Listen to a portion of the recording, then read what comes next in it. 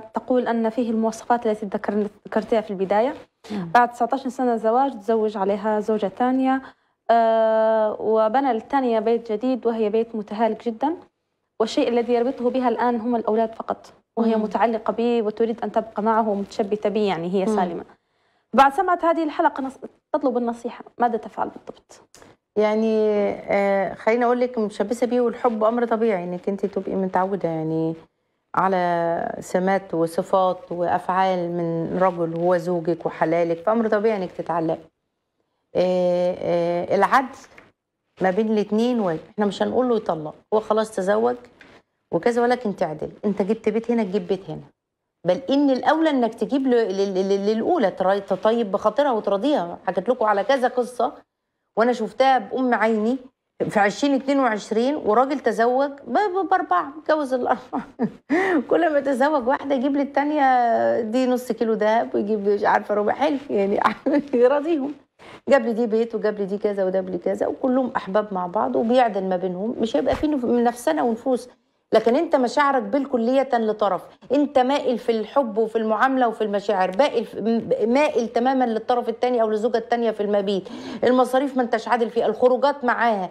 الضحك والهزار والغم هو اللي لينا والضحك والهزار مع التاني أمر طبيعي. أنت ظالم. فأمر طبيعي إن يبقى ده ان هي تقفل منك. طب أعمل إيه؟ هو في الصفات دي؟ والله قولي له ساعات لما بنواجه الشريك وإحنا قلنا كده في الحلقة. لما بنواجه الشريك إنك أنت العلاقة اللي بيني وما بينك دي علاقة غير صحية وعلاقة أنا مش حاسة فيها في الأمان بالأمان وحاسة بيها بتهديد دايم فمن فضلك لو سمحت إيه إيه إيه تعالى نقول واحد اتنين تلاتة خطوات. وشوفي هيلتزم رد فعله. ها؟ رد فعله على ش... إيه آه لأ. وما ظلمكيش وما يجيش ابدا يوم القيامة شق مائل واقف قدام ربنا بالظلم اللي أنا عامله. إيه لا هراعيكي عشان خاطر الأولاد وكذا. خير يبقى خير وبركة. طب هعمل الحاجة خير وبركة. كل الكلام ده.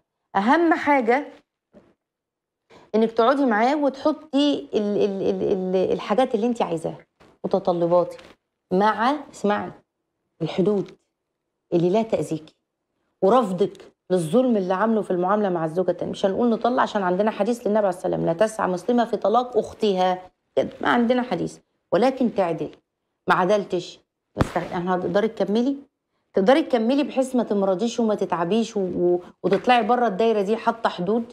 ما مش بدور في الراحة بتاعت زوجي ولا هو قال ولا راضي ولا مش راضي. استمداد لنظرتك وتقديرك لذاتك مش من الآخر مش منه مش عشان هو قال لأ وقدرت تتعافي وتطلعي وتعملي لك صحبة تانية وناس تانية و...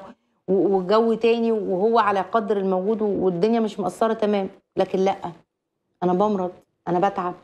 أنا أنا أنا أنا أنا مش قادرة أربي الأولاد. بقيتي مقصرة في أمر أنت هتسألي عنه بسبب ال- الضغط النفسي اللي وقعك فيه. لا تقعدي وتستخيري. نكمل ولا ما نكملش؟ بس قبليها بقعد معاه مرة وبقول له على الأذى وبعمل حدود وبطلب الطلبات وبدي فترة زمنية لتغيير السلوك.